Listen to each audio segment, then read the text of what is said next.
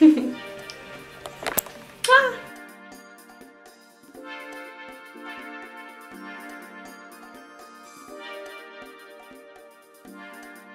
don't think I will ever be prepared for the Met, but I do feel a lot more relaxed than last year because I have an idea of what will happen inside. So, yeah, trying to have more fun.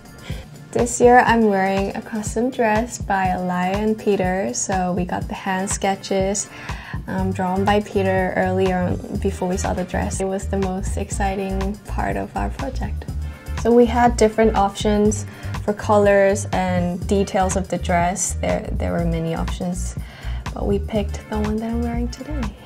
Try to bring the natural colors and the features of my face, and then we added a little touch of the silver and sparkles to go with our accessories of today. So yeah, I think that was our makeup look. And my hair today, I think is pretty much self-explanatory. We try to go with the theme of the garden. I think the Garden of Time for me it reminds me of nature and floral greens. so we try to work with a lot of like natural colors and fabrics. Overall, I think we went with a natural, timeless look that lets the dress shine.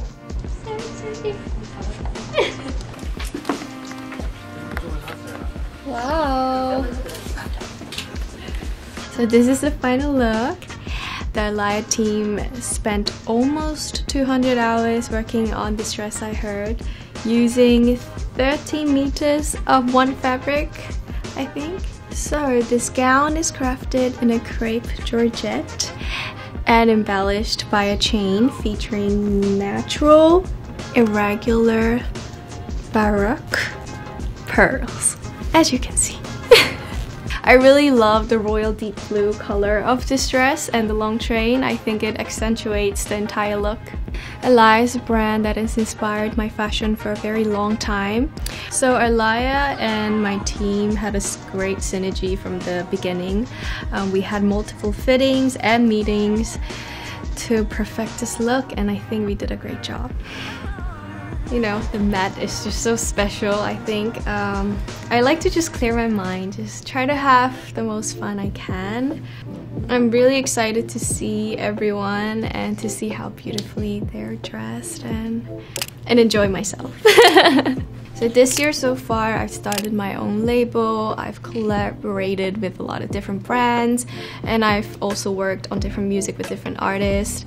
Um, it's a new some sort of a beginning for me and everything's just been great. It's just enjoying every step, I guess.